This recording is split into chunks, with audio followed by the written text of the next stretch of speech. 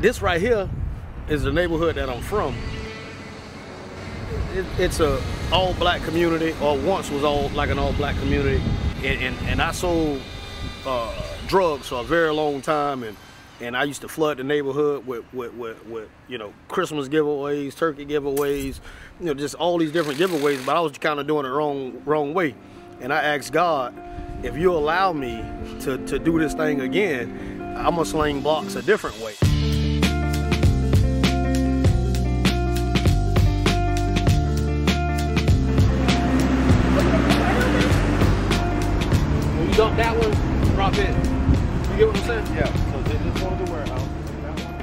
Are the real blocks. This is what the kids in the neighborhood need to see. They don't need to see the other blocks. We need people coming back to revitalize and rebuild our community with the right kind of blocks. I went to prison and I did 30.5 months in the Department of Corrections. Hey. Ex-felon just seems something that's doomed. It's like a cloud when you see ex-felon, but when you say returning citizens, it's like sunlight. It's daytime. It, it, it, it's a different feeling. You know, it's different energy. By being called a returning citizen, okay, yeah, I'm returning from a, a world that you know nobody want to be in, right? Back to uh, being a, a citizen. I brought, I brought all that. Okay, Yeah. I brought in one too. I got you. Yeah. So we get all that over. with. Regular. I don't say prison was a bad thing for me. I want to say prison was a bad thing with good results.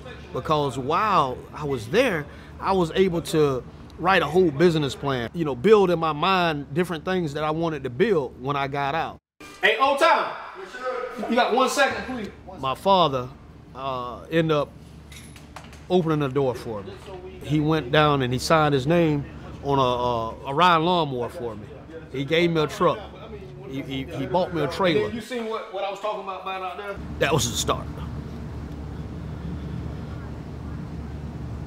I I went to work cutting yards. Well, I'm cutting yards. It was hard. It was hard trying to cut yards and make money. Uh, then I began to get electrical jobs. So, with the mix, it was good. the next phase of what I wrote down, all this stuff was created from from uh, want to open up a convenience store. That came to the horizon. That came to fruition. Was able to put my mom's vision, my mom's dream that I was able to connect to, uh, put her into place, and call that Annie D's Food Mart. The idea was never came if it wasn't for this lady right here. Her name is Miss Annie. She's a wonderful, wonderful, phenomenal lady. Been in the, the, the school business over 34 years. She's just recently retired. Dee Dee has always been a, a driver, a, a go-getter. He had a hiccup, and that hiccup did not define him. He had the support of his family. He had his brothers. He had uh, the whole village standing behind him. We supported him and, and we ensured him that that is not the end of the world. You know, when you get out, we're going to help you. We're going to help you get on your feet. You know, and, and all these different things that I wrote down, including the barbecue stand that we just opened up. I wanted to call it Double D's BQ, but I, it, you know, it's not all about me. It's always was about other people, and that's what I'm all about, building a community. So that's why the name of my company is H and B Community Builders. Uh, H is is, is stand for my last name is Hampton.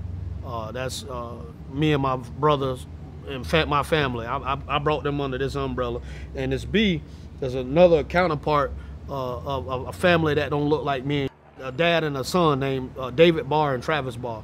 We was able to do some different businesses on different things, and and I and, and I gave them my vision on on how I want to build a community. Davion was an electrical subcontractor for my son's business in Orlando. They became friends, and, and Davion pulled him aside one day and said, We should do some other stuff together. And the first year, we might have built three or four houses together. The next year, we doubled what we were doing, and the next year, we doubled what we were doing again. I knew I wanted to be a home builder, and and so you know I'm building homes throughout the community. I mean, like not just a home. I'm building nice homes, affordable homes that people can come back to the community and live in. My wife was friends with Davion's brother, and that's how I met Davion. I couldn't ask for anybody better to work for. I mean, I couldn't dream of even changing my job. Know, it's people like him that actually give other people that are convicted felons uh, uh, an outlook to look at. Well, hey, if he did it, I can do it. I started my march with Desmond Meade and, and the Florida Restorational Rights Coalition. We're getting ready to go to Advocacy Day uh, next week, next week Thursday, I believe. We're going up to Tallahassee. I speak on all different type of platforms and different things, uh, talking about returning citizens and the rights to vote. In spite of to this day, Davion Hampton still don't have the right to vote. So my name is Marquise McKenzie, and I am the statewide community liaison manager for Florida Rights Restoration Coalition. If you want to see any change in the community, um, it's by voting. And when you think about all the things, when somebody get in trouble, why is voting the first thing that they take away from them? Because it's powerful. Um, so it's, it's a powerful tool that if we must exercise, and if you ask me, that's a right that I don't think nobody should ever lose.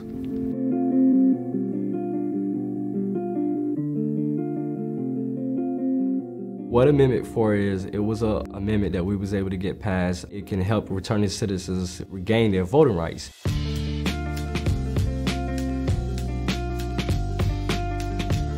For 150 years in the state of Florida, individuals was banned from voting, right? You get a felony conviction, you lost your rights for life. Um, it wasn't 05 or 6 or 7 years, this was life. And one of the things that we see um, as an organization, when you uplift the ones at the very bottom, it creates safer communities for all of us.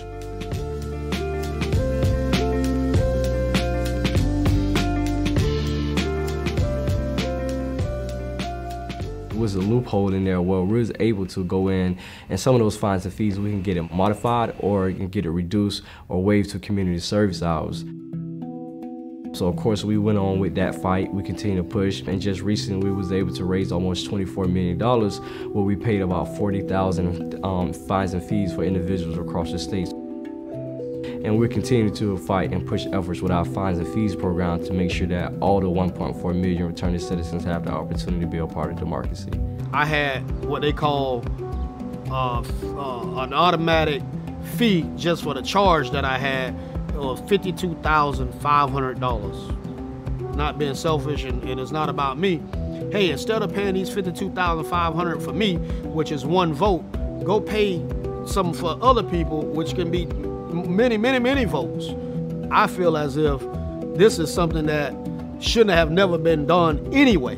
Poll taxes is what I call it. You know, this is something that I will continue to fight to the death of me. We're not far removed from slavery.